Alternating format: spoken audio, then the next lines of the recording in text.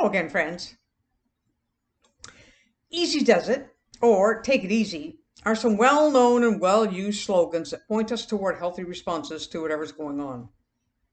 The thought behind these words is that we should slow down and relax and take a measured approach to a problem or to whatever seems complicated and frustrating to us. Jesus also taught us that easy does it when he told us, don't worry about tomorrow. Each day has enough trouble of its own. Tomorrow will have its own worries. Jesus used the example of a little child to remind us that we need to keep things simple and take it easy. You must change your thinking and become like little children.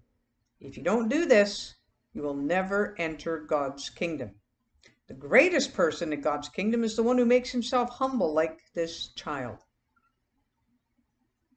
Letting tension get the best of us and becoming stressed out never puts us in a good problem solving frame of mind.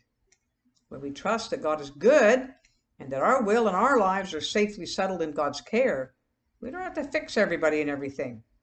We can take the time we need to quiet our heart and to consider various possibilities until we settle on what seems to be the best reaction or course of action. When things are too fearful for a little child, they simply run to their loving parent for protection and support.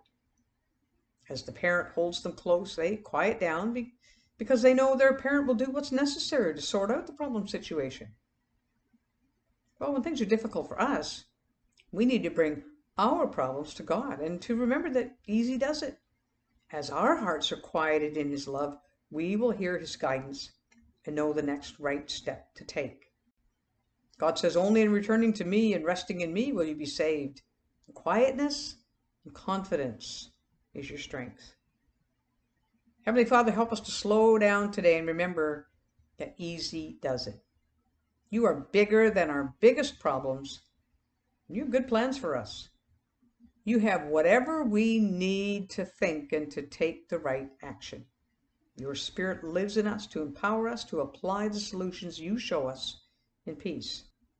Help us to make it a practice when we're facing things that are complicated or challenging to just quiet our hearts and listen for your clear direction.